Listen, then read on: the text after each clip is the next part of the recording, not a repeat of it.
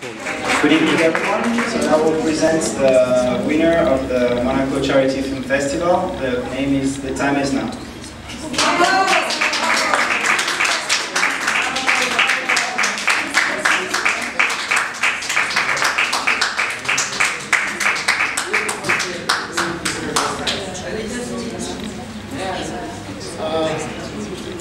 Thank you so much. It's been a very uh, special, uh, special here to Monaco because it's the first time that uh, we have come to Monaco, myself and Vivek, my actor in the film.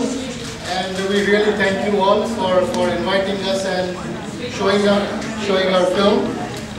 Speaking about the film, yeah, the film is, uh, the name as you know, it's called The Time Is Now and it's a film which we have worked for three years and shot in about 14 countries. And it's a film which uh, shows common people trapped in uncommon situations and uh, how they come out of it. It's like a film for common people all around the world, giving a message of hope, self-realization, peace, and how people can think about themselves as right, okay, I have got all the power within myself, and it's just a matter of realization. So we really enjoyed doing this project, and uh, we shot in all, all over the world. It was a very special movie for us because it was our learning curve also because we started valuing our own life after making the film, which we didn't do earlier.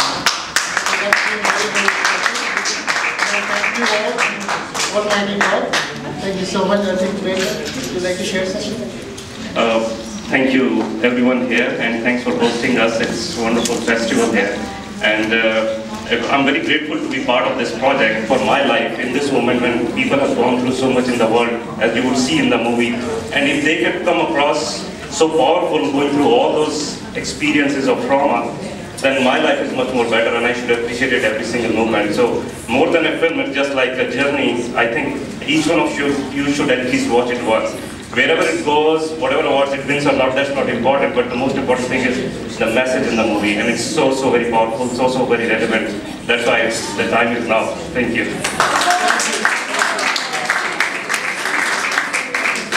I, I would like to say something about the movie and say congratulations to Richard.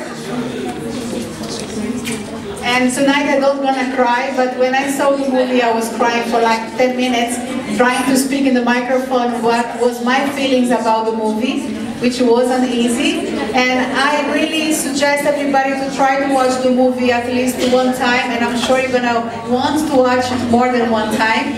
And the movie is all about love, forgiveness, hope, and be a positive person and a forgiver. And there is no other time to be happy and what you want to be in life. The only right time is now. So it's all about us taking a decision. Thank you, Richard.